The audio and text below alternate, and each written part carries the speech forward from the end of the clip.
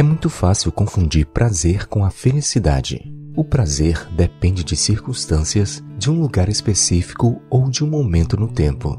O prazer não é duradouro, mas instável.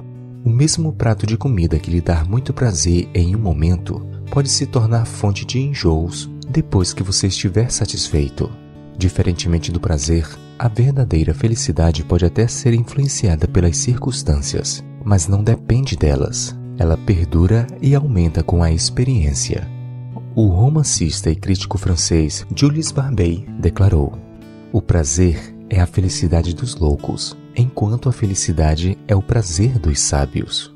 No segundo capítulo do livro de Eclesiastes, Salomão fala de sua busca desenfreada por prazer. No verso 10 ele declara: Tudo quanto desejaram os meus olhos, não lhes neguei, nem privei o coração de alegria alguma. Porém, estar alegre não é ser feliz. Por isso, já no próximo verso, Salomão tristemente conclui: Considerei todas as obras que fizeram as minhas mãos, como também o trabalho que eu, com fadigas, havia feito. E eis que tudo era vaidade, e correr atrás do vento, e nenhum proveito havia debaixo do sol.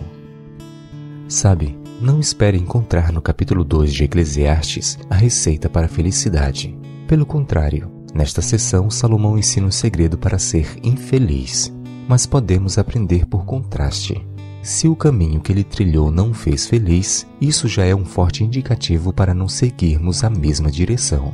A primeira dica então é: não confunda prazer com felicidade. Não troque o eterno pelo passageiro. Como bem declara o interessante provérbio hindu, o prazer é somente a sombra da felicidade.